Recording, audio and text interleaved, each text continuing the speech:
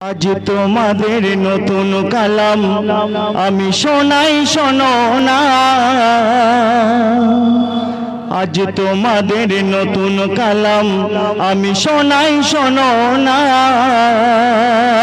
মায়ের প্রতি নির্যাতনে ফল দেখো না।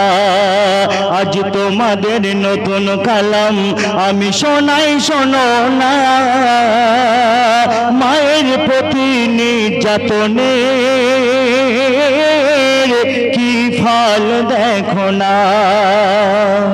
অতি সুন্দর কথা কবি বলছে, এক গ্রামেতে একটি যুবক বাস করিত।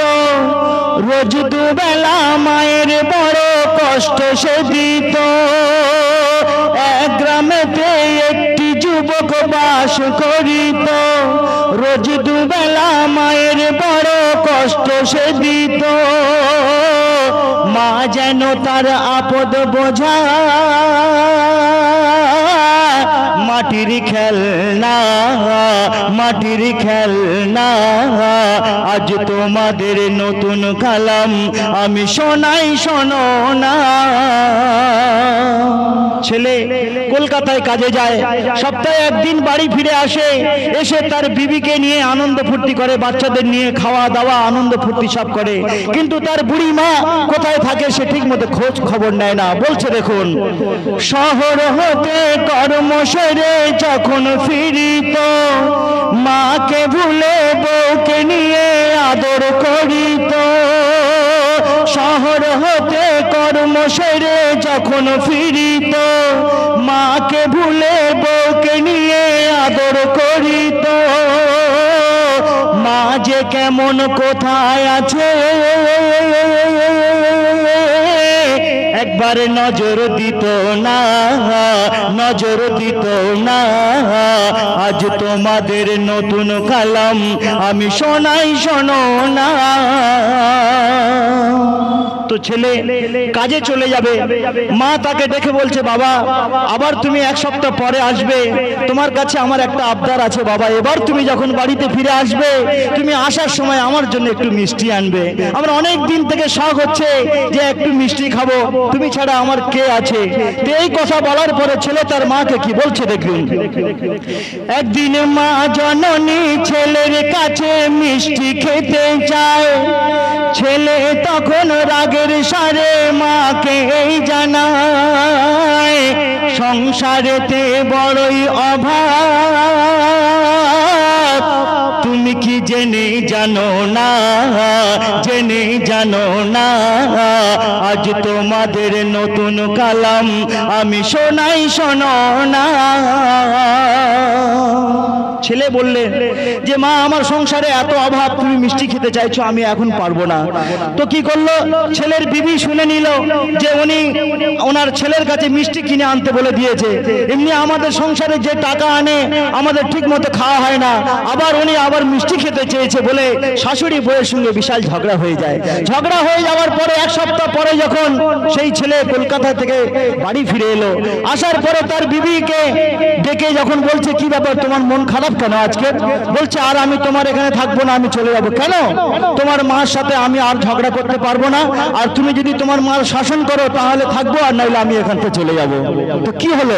বলছে, দেখুন, একদিনে বইয়ের সাথে ছেলের মায়ের ঝগড়া লেগে যায়। একদিন বইয়ের সাথে ছেলের মায়ের ঝগড়া লেগে যায়। বউকে কাছে টেনে ছেলে মায়ের এই জানায়। হাজার লোকের মরণ দেখি তোর মরণ দেখি না, মরণ দেখি না। আজ তোমাদের নতুন কালাম আমি শোনাই শোনো না। মা অবাক হয়ে গেল। আমি তো ছেলের কাছে কিছু এমন বলিনি, আমার বৌমা কি বলে দিল আমার ছেলেকে? যে আমার ছেলে এত বড় কথা বলল যে আমি এত লোকের মরণ দেখি, তোর মরণ হয় না, মার দিলে একটু কষ্ট হলো। তো সেই ছেলেকে আর কোনো আবদার করল না যে আমার জন্য কিছু এনে দিস, বাবা, খাব। আমার জন্য আর তোমার কিছু আনতে হবে না। ছেলে কাজে চলে গেল, চলে যাওয়ার পরে রাস্তায় সেই ছেলের কি অবস্থা হচ্ছে দেখুন। প্রতিদিনের মতো ছেলে কাজে চলিল মাঝে, বাসের মুখে অ্যাক্সিডেন্ট হলো। প্রতিদিনের মতো ছেলে কাজে চলিল। পথের মাঝে, বাসের মুখে অ্যাক্সিডেন্ট হলো। ঘরে দেখো ছেলের আশা। সেই কাঁদে বুড়ি মা, কাঁদে বুড়ি মা। আজ তোমাদের নতুন কালাম, আমি শোনাই শোনো না। তো গ্রামে খবর হয়ে গেল যে অমুক জনের ছেলে কলকাতায় অ্যাক্সিডেন্ট হয়ে গেছে, গ্রাম থেকে কিছু বিশিষ্ট মানুষ। তারা কলকাতায় থেকে সেই লাশকে নিয়ে এলো, আনার পরে তাকে দাফন করে দিল। বলছে, দেখুন, ছেলের মারা লাশ যখন বাড়ি আসিল, জননী মা কেঁদে কেঁদে পাগল যে হলো। ছেলের মারা লাশ যখন বাড়ি আসিল, জননী মাকে কেঁদে পাগল যে হলো। কারে নিয়ে থাকব আমি?